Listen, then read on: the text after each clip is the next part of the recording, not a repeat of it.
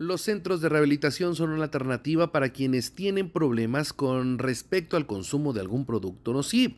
Lamentablemente, muchos de estos lugares ofertan diversos servicios que de forma inicial convencen a quien requiere de esta atención. Sin embargo, Muchos no lo cumplen y todo lo contrario pueden ser incluso un riesgo para quienes ingresan. Tal es el caso de Montserrat Martínez, una joven de tan solo 18 años y que se encuentra con cuatro meses de embarazo. Fue ingresada en el mes de marzo y hace unos días tuvo que ser sacada por sus familiares del centro de rehabilitación denominado FEPAI, que se ubica en la colonia Bosques del Sur, en la avenida Sabino, debido a que la agredían psicológica y físicamente.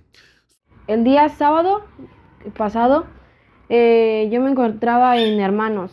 Es una actividad que nos dan ahí, que nos hablan de Dios y todo eso.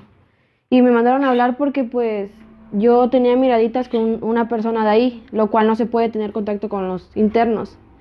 Entonces el, el, Luis, el que me agredió, este, nos bajó a ambos y su, nos empezó a golpear según porque nos mirábamos y porque estaba muy muy estresado por todas las actividades que tiene que ver en la clínica.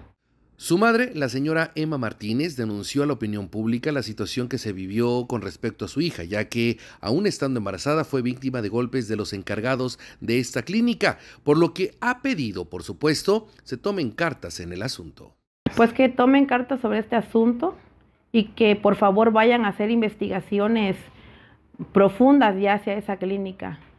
¿No? Porque no es justo de que, los demás familiares paguen cuatro mil pesos y pues nuestros, los pacientes este, reciban un, maltrato. Si a mí me han amenazado, me han, este, me han hablado para querer, este, intimidarme, intimidarme y me, me han dicho que cuánto quiero. O sea, yo no, creo que la vida de mi hija no, no depende de la cantidad que ellos me pongan, ¿no?